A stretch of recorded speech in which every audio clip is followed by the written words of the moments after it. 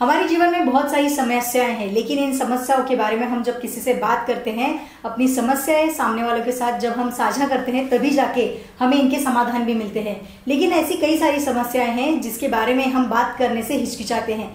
आज भी हमारे समाज में इस तरह की जो प्रथाएँ हैं, ये चलती आ रही है। और इसी से जुड़ी हुई आज हम बात करने वाले हैं लैंगिक समस्याओं के बारे में। नमस्कार, मैं जया, आप सबका स्वागत करती हूँ आज के इस विशेष भाग में। और आज हमारे साथ है डॉक्टर दीपक केड़कर सर जो हमें इस सब्जेक्ट के बारे में इस विषय के बारे में बहुत अच्छे से जानकारी देने वाले हैं। सर आपका बहुत बहुत स्वागत है। नमस्कार। सर हम सबसे पहले जानना चाहते हैं कि लैंगिक समस्याएँ किस तरह की होती है?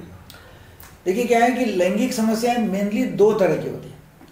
एक क्या होता है कि लैंगिक कमज़ोरी होना मतलब सेक्सुअल वीकनेस जिसको बोलते हैं या इरेक्टाइल डिसफंक्शन या लैंगिक कठोरता नहीं आना ये प्रॉब्लम मगर इससे भी ज़्यादा जो ज़्यादा मतलब बहुत ज़्यादा मात्रा में लोग हमारे पास में जो आते हैं, वो आते हैं कि जल्दी शीघ्र पतन हो जाना मतलब प्री मैचड इजैकुलेशन होना या जल्दी निकल जाना, और उसमें बहुत सारे लोग परेशान हैं।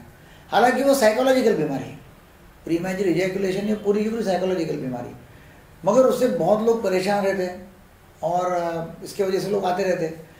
और फिर कुछ ऐसे लोग हैं मतलब कुछ परसेंटेज कि वो दोनों प्रॉब्लम उनके एक साथ है। कि भाई दोनों भी प्रॉब्लम है और इसलिए लोग आते रहते हैं। जी जी। तो ऐसा ही हमारा रहता है।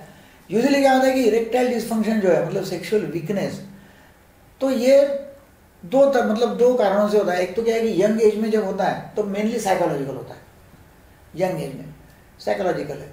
और जैसे जैसे उम्र बढ़ते जाती है वैसे वैसे फिर उसके शारीरिक कारण होते हैं। कि जैसा डायबिटीज़ मलाइटिस हुआ मतलब शुगर की बीमारी है मधुमेह की बीमारी है तो वो होते हैं। कभी सारे शारीरिक कारण है जिसकी वजह से होते मगर प्री मेजर इजैकुलेशन जो है, जो मैंने बताया कि बहुत ज़्यादा मात्रा में है, वो तो मतलब 95 परसेंट ऑफ़ द टाइम्स सौ में से पचानवे बार साइकोलॉजिकली और वो उसकी वजह से होते रहते हैं। जी जी, बिल्कुल सर। लेकिन आजकल हम देखते हैं कि हमारे समाज में जिस तरह का भी वातावरण बदलते जा रहा है खाने पीने की आदतें बदल चुकी है लोगों की, जो एक उनका लाइफ स्टाइल हमें जिस बोलते हैं, जो एक साइकिल है पूरा दिन भर का, वो सबका बदल चुका है। इसकी वजह से मोबाइल का ज़्यादा यूज़ इंटरनेट पे बहुत टाइम तक रखना या फिर काम का बहुत सारा तनाव होना। क्या इस वजह से भी पति पत्नी के बीच इस तरह के तनाव, इसका प्रभाव उनकी लाइफ के ऊपर हो सकता है? देखिए, तनाव का प्रभाव तो होता ही रहता है। मतलब पहले तो हम ये बोलते हैं कि भाई, समझो भी आप प्री मैच रिजैकुलेशन जैसे बोला शीघ्र पतन का बताया मैंने, या इरेक्टाइल डिस्फंक्शन का बताया। हम बोलते हैं कि भाई, पहले आपकी लाइफ ठीक करो। लाइफ चेंजेस वो बहुत ज़रूरी है। पति पत्नी में रहो या बॉयफ्रेंड गर्लफ्रेंड में रहो। या शादी होने का तभी भी लाइफ स्टाइल चेंजेस और लाइफ स्टाइल में क्या है? लाइफ स्टाइल में अभी लोगों का जो है शराब शराब का व्यसन जी। ये बहुत बड़ा कारण होता है। दूसरा तंबाकू टोबैको धूम्रपान करना और तंबाकू खाना। तीसरा जो होता है कि एक्सरसाइज लोग एक्सरसाइज नहीं करते हैं। और एक्सरसाइज जब करते हैं तो अनफिट रहते हैं। और उसकी वजह से फिर मोटापा है पेट सामने आया हुआ है हिलना डुलना होता नहीं है। फिर उसकी वजह से भी प्रॉब्लम होते हैं। जी। जब ओबेसिटी ज़्यादा है मतलब मोटापा ज़्यादा है तो मोटापा ज़्यादा है इसका मतलब कोलेस्ट्रॉल लेवल आपकी ज़्यादातर ज़्यादा ही हुई है कोलेस्ट्रॉल की लेवल तो उसकी वजह से फिर उनको हार्ट का प्रॉब्लम है उनको ब्लड प्रेशर का प्रॉब्लम है। अच्छा फिर उसके लिए आप गोलियाँ खा रहे हैं दवाई ले रहे हैं। अब दवाई की वजह से प्रॉब्लम आ रहा है। मतलब देखो एक केस में एक केस ज़्यादा जी बिल्कुल वो एक दूसरे के ऊपर निर्भर है। हाँ, तो फिर हो गया तो एक्सरसाइज करना रेगुलरली बैलेंस डाइट आज जब मोबाइल का युग है तो बैलेंस डाइट जो है तो लोग बैलेंस डाइट लेते नहीं है। जी। ज़्यादा जंक फ़ूड है बेकरी आइटम्स है मिठाइयाँ ज़्यादा खाते हैं। ज़्यादा सैलड खाते हैं लोग फ्रूट्स और सैलड का सेवन ज़्यादा करते हैं और प्रोटीन युक्त डाइट तो फिटनेस अच्छा रहता है। जी। फिर अपने जैसा बोला भी स्ट्रेस तनाव पति पत्नी का जब आपने बताया तो होता यह है कि दोनों पति पत्नी एक ही कमरे में बेडरूम में है। दोनों अपने अपने मोबाइल हाथ में लेके बैठे हुए दोनों एक दूसरे से बात नहीं कर रहे हैं। बिल्कुल बिल्कुल। और अपने अपने फेसबुक और मोबाइल में इतने गुते हुए उनको मालूम ही नहीं कि क्या हो रहा है मतलब मतलब बाहर की दुनिया को जोड़ना छोड़ना खुद से जुड़ना हाँ, खुद से जुड़ना नहीं है। उनको अमेरिका में जो उनका दोस्त है उसको क्या हुआ?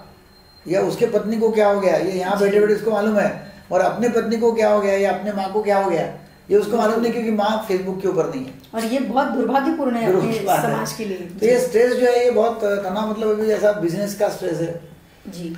फिर आ, मतलब बाकी जो है कि जैसा अभी यंग एज में क्या हो रहा है कि बॉयफ्रेंड गर्लफ्रेंड मतलब अभी ऐसा हो गया है कि गर्लफ्रेंड नहीं है तो वो प्रॉब्लम है कि भाई अरे गर्लफ्रेंड नहीं है या बॉयफ्रेंड नहीं है मतलब आप ये बहुत पिछड़े हुए। मतलब इस तरह का हो रहा है। तो और फिर एक बार गर्लफ्रेंड बॉयफ्रेंड है तभी उसमें ब्रेकअप जी। सर इसी से जुड़ा हुआ मेरा एक सवाल है कि आप जो बोल रहे कि गर्लफ्रेंड बॉयफ्रेंड होना आजकल एक स्टेटस की बात भी हो गई है लोगों के सामने शो ऑफ़ करना होता है। लेकिन हम देखते हैं कि इसके आगे भी हमारी सोसाइटी बढ़ चुकी है। बहुत टाइम हम ये देखते हैं कि लिव इन रिलेशनशिप में लोग रहते हैं हम्म। या बॉयफ्रेंड गर्लफ्रेंड जो है वो रिलेशनशिप में होते हैं। तो इसका प्रभाव क्या उनकी आगे की ज़िंदगी में भी होता है? हाँ होता है ना क्योंकि अभी क्या हो गया है कि आगे की ज़िंदगी मतलब ऐसा हो गया कि इसके बाद में मतलब ये अभी एक्सेप्टेड है। जब लिविंग रिलेशनशिप है लिविंग रिलेशनशिप हम्म। तो एक्सेप्टेड है इसका प्रभाव ऐसे हो रहा है कि अभी एक्स्ट्रा मैरिटल अफेयर्स भी काफ़ी बढ़ रहा है। जी। ये बहुत कॉमन हो गया अभी। और मैंने काफ़ी वीडियोस में भी दिला मतलब दिया हुआ है कि भाई एक्स्ट्रा मैरिटल अफेयर्स और लोग बोलते हैं ठीक है वो चलता है कोई प्रॉब्लम नहीं है। तो उसका प्रभाव एक्स्ट्रा मैरिटल अफेयर्स में भी हो रहा है। और दूसरा में बड़ा कारण यह लाइफ स्टाइल की इसमें नींद। जी। नींद का एक बहुत बड़ा असर सेक्स लाइफ के ऊपर होता है। सात या आठ घंटे की नींद बहुत ज़रूरी है। अभी हो रहा है कि लोग तीन तीन चार चार घंटे हमारे देश में तो एवरेज में छः घंटे लोग रोज अपना सोशल मीडिया पे मतलब फेसबुक व्हाट्सएप या यूट्यूब के ऊपर छः घंटे रोज। तो उससे हो रहा है क्या है कि आ, मतलब बहुत ज़्यादा स्ट्रेस आ रहा है। जी। नींद होती नहीं है। लेट तक मतलब वो देखते रहे। घंटा घंटा दो घंटे रात को कैसे निकल जाते मालूम ही नहीं पड़ता। फिर लेट सोएँगे सवेरे जल्दी उठना है। नींद होती नहीं और उसका असर फिर सेक्स के ऊपर होता है सेक्स लाइफ के ऊपर होता है। बिल्कुल बिल्कुल सर लेकिन हम जैसे देखते हैं कि इतनी सारी समस्या जो है, इसके बारे में बहुत कम बार बातें की जाती है। और जब बहुत मतलब समस्या आगे बढ़ चुकी है, उस टाइम पे जाके लोगों को ये समझ में आता है कि अब हमें जाके किसी से बात करनी चाहिए या शेयर करना चाहिए। ऐसे टाइम पे आपका काउंसलिंग या फिर सिर्फ़ आप ही नहीं, हम देखते हैं अभी हर जगह तो काउंसलिंग का इस चीज़ में कितना योगदान बहुत ज़रूरी है सर देखो जैसा मैंने बताया कि काउंसलिंग का योगदान बहुत ही ज़बरदस्त है और इसलिए हमने सेक्स काउंसिलर या सेक्स थेरेपिस्ट बनाने का भी कार्यक्रम चालू किया okay. क्योंकि आज देखिए हमारे देश में जैसा मैंने बताया शीघ्र पतन प्री मैच रिजैकुलेशन इससे करीब करीब दस पंद्रह करोड़ लोग तकलीफ़ में होंगे। अब इतने लोगों को तो मेरे जैसे साइकेट्रिस्ट या सेक्सोलॉजिस्ट कोई ठीक नहीं कर सकेंगे इसलिए मैंने सेक्स थेरेपिस्ट बनिए ऐसा कार्यक्रम चालू किया। लेकिन सर क्या इसके लिए लोग आते हैं आते हैं हाँ क्योंकि वो तो कमाई भी करेंगे ना इसके साथ साथ तो काउंसलिंग बहुत महत्व का है। मगर लोग बोलते ही नहीं अभी हमको टाइम नहीं है काउंसलिंग के लिए। हमको दवाई बताओ। फिर उनको दवाई देनी पड़ती है। दवाई का इफ़ेक्ट क्या होता है कि दवाई का इफ़ेक्ट भी और साइड इफ़ेक्ट भी है। तो वो दोनों भी उनको लेना पड़ता है। लोग लेते हैं और उससे अच्छे होते हैं। मगर दवाई के साथ साथ यदि काउंसिलिंग किया तो फिर लोगों को उसका बहुत फ़ायदा होता है। लेकिन सर काउंसलिंग ये जो एक प्रोसेस है या फिर समुपदेशन हम जब किसी को करते हैं तो ये बड़ा ही संयम रखने का काम होता है या किसी की बात सुनो फिर उसको अपनी ज़िंदगी में लेके आओ या उसको आजमाओ। तो क्या इतना पेशेंस लेवल लोग रखते हैं? हाँ रखते हैं ना। जैसा काउंसिलिंग में क्या होता है कि काउंसिलिंग में तो उनके हस्बैंड वाइफ में प्रॉब्लम होंगे। जी। पति पत्नी के प्रॉब्लम है उसके देखो कि उसमें क्या प्रॉब्लम आ रहा है। या बॉयफ्रेंड है उसमें क्या प्रॉब्लम आ रहा है वो देखो। यूजुअली उनका एक तो ईगो प्रॉब्लम कि मैं डोमिनेट करूँगा या डोमिनेट नहीं होने दूँगा है ना? तो डोमिनेशन का प्रॉब्लम है पट्टी नहीं है। मेरे पास में जैसे लोग आते हैं कि बोले हमारी पट्टी क्यों नहीं है हमको मालूम नहीं।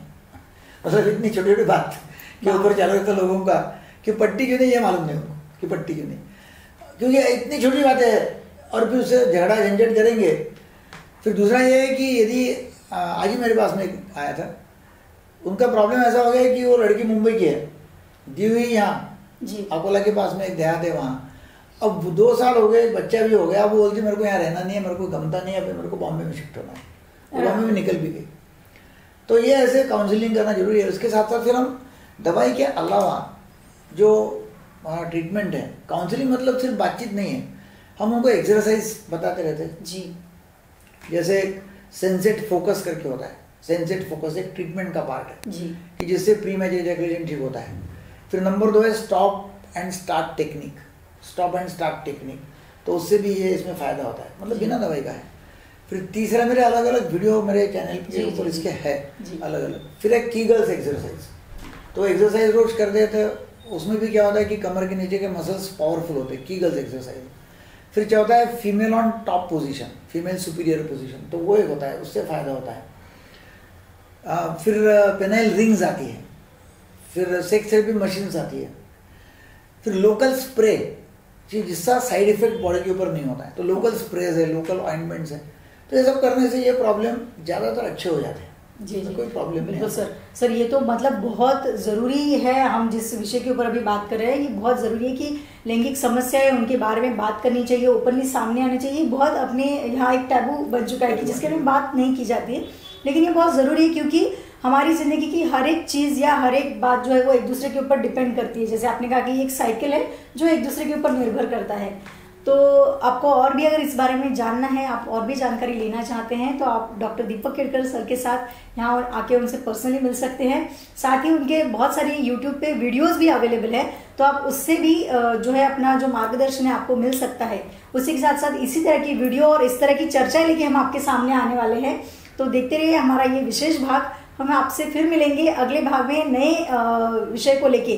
लेकिन हम ये आप सबसे उम्मीद करते हैं कि आप कमेंट करके हमें ज़रूर बताएँगे आप किस विषय के बारे में आ, सर से जानकारी लेना चाहेंगे। सर बहुत बहुत शुक्रिया। आज आपने जो हमें टाइम दिया है उसके लिए और जिस तरह से आपने बहुत अच्छा मार्गदर्शन किया उसके लिए भी। बहुत बहुत धन्यवाद। Thank you